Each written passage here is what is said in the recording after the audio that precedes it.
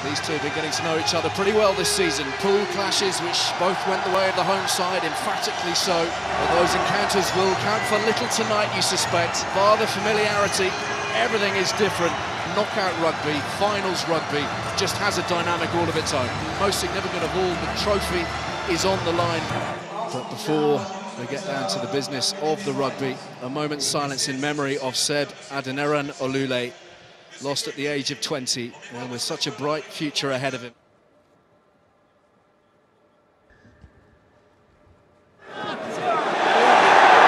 And here goes the big man, Willemse, floored by one of the smallest men on the pitch in Care. But there are opportunities here for Montpellier, and that is a hell of a pass from Steyn. Marvin O'Connor dances his way through the traffic, now some chances, and Moggs on the outside, and Montpellier are through! Jesse Mogg hasn't touched the ball, he scored the opening try of the final, and Montpellier have their rewards for that early bust from Paul Willemse. Montpellier need to just look up here. You know, Quins are huge numbers down. One more phase. Moggs on his own out wide, screaming for it, far out on the right-hand side of the field with his arm in the air. Still, they keep it tight until Payot decides to go to Mogg. Did he ground it properly?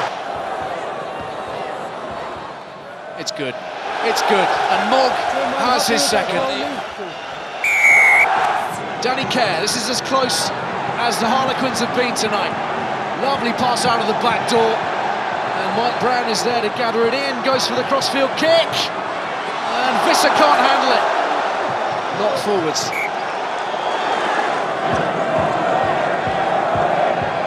Opportunities for Quins. Botica to Brown, who dribbles it through, and Yarde will gather, and Yarde will score.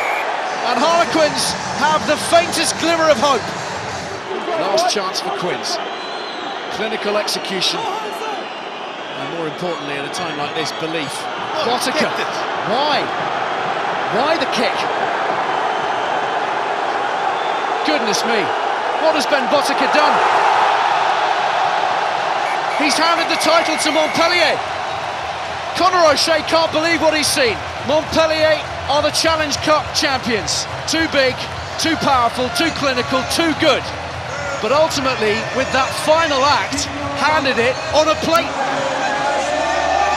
Montpellier, Kings of Lyon,